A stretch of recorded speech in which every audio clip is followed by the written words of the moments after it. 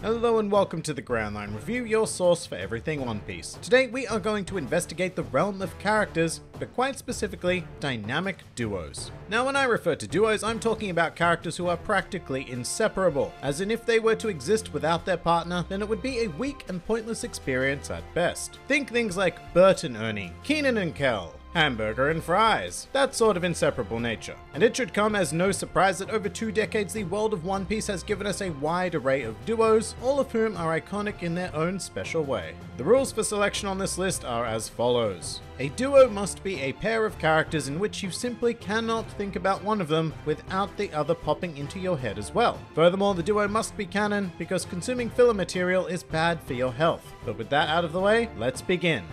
Welcome to the top 5 dynamic duos in One Piece.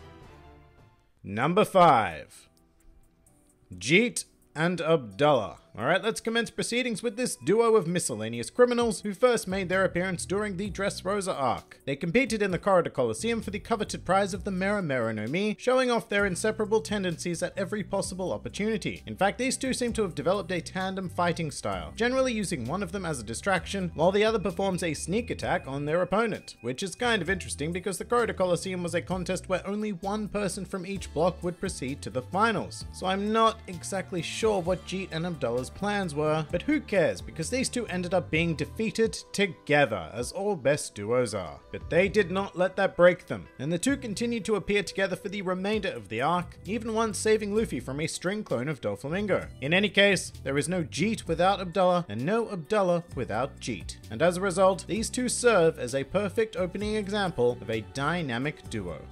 Number 4 Johnny and Yosaku. Now here we have an odd pair because at one point they were actually a trio of bounty hunters with a character you may have heard of by the name of Roronoa Zoro. However, at some stage in history they disbanded for well reasons. I mean, if I had to guess why that reason was, I'd say that Zoro became acutely aware of just how much of a third wheel he was and gracefully left Johnny and Yosaku to become the amazing duo they are today. I mean, as bounty hunter partners, they even share identical swords. Now that's just adorable. Sadly, this duo was actually split up at one stage in the series though, when Johnny accompanied Zoro and Usopp to pursue Nami, while Yosaku remained with Sanji and Luffy on Baratie. However, this would turn out to be a twist of good fate for the Straw Hats, as the powerful supernatural bond connecting the bros Johnny and Yosaku would eventually bring both groups back together. And just like Jeet and Abdullah, Johnny and Yosaku aptly demonstrated that a duo who fights together will either win or be defeated together. In this case, it was a defeat. It's it's always a defeat for Johnny and Yosaku, so much so that these two eventually gave up their bounty hunter profession and became fishermen together, of course. And their duotic legacy, duotic is a word I just made up, continues to this very day.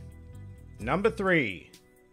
Django and Full Body. Here we have what should be an odd couple of sorts, I mean Django being a former pirate and Full Body being a former dick, current marine. However, this duo would be forged by the ever-powerful art of dance. Essentially, following his defeat on Syrup Village, Django entered a dance contest and won, obviously. He then proceeded to celebrate with Full Body and began a series of events that would end with Full Body performing a dance of friendship in Django's honor. Django and Full Body then went on to enlist in Hina's marine unit, and well, the rest became history. Django and Full Body were never seen without one another again, and even fought side by side at the Battle of Marineford, both equally failing to prevent Luffy from progressing in the conflict. But the thing that really binds these souls together is their mutual affection for their superior officer Hina. But despite their rivalry for her heart, these two remain the best of companions, often coordinating their efforts to woo Hina, who for whatever reason refutes yet tolerates their behavior. Whatever the case, Django and Full Body are an inseparable duo who will continue to dance their way through the world together. Number 2. The Unluckies. Moving away from the realm of humanity, here we have a vulture and an otter. Not usually the greatest of combinations in nature, but these two are such a dynamic duo that I'd bet most of the One Piece fanbase don't even know their real names. For the record, the vulture is Miss Friday and the otter is Mr. 13, but their separate identities matter not, as collectively they are the Unluckies. In fact, even their separate names are a reference to their collective existence, as they allude to the date Friday the 13th. But essentially, they are a set of agents from Baroque works generally used as messengers, but they also dabble in the art of espionage and assassination. They are a very complementary pair, with Miss Friday providing transport all over the Grand Line, as well as long-range combative weapons, while Mr. 13 specializes in close quarters combat and also has a supreme artistic ability, able to draw lifelike sketches in an instant. This collection of skills makes them quite a powerful pair, but most importantly, I simply cannot picture one without the other, and that certainly does solidify their candidacy as one of the top dynamic duos in the series, but yet, I simply cannot deny number one.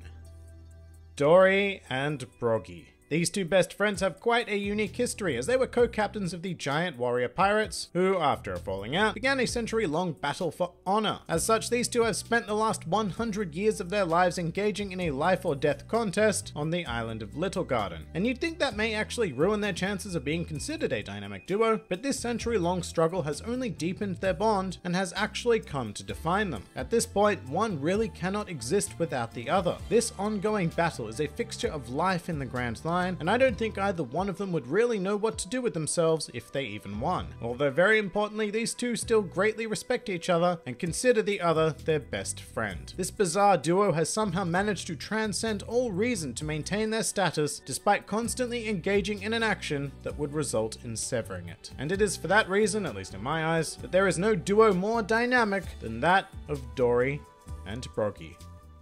But that pretty much does it for the top 5 dynamic duos in One Piece. If you enjoyed this video then feel free to like, favorite or subscribe, and if you are in any way inclined to support this independent channel, then please feel free to check out my Patreon, Discord server or Twitter, the links to which are in the handy description below. And finally, please do comment with your own favorite dynamic duos in the series. This has been the Grand Line Review, and I'll see you next time.